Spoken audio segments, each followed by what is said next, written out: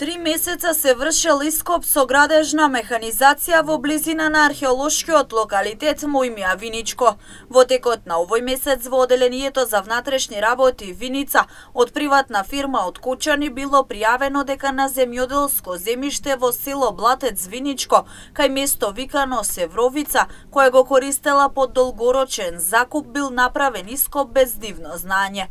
Полициски службеници од Оделението за внатрешни работи Виница заедно со вработени од археолошкиот музеј Теракота Виница извршиле увид на местото и било констатирано дека периодот од ноември минатата година до 16 февруари оваа година бил вршен ископ со градежна механизација, при што биле забележани оштетувања на предмети, за кој мајќа предвид близината на археолошкиот локалитет Мојмија се предпоставува дека се дел од локалитетот и имаат историско и археолошко значење. За настанот биле известени јавен обвинител и управата за заштита на културно наследство при Министерството за култура. Се преземаат мерки за расчистување на случајот.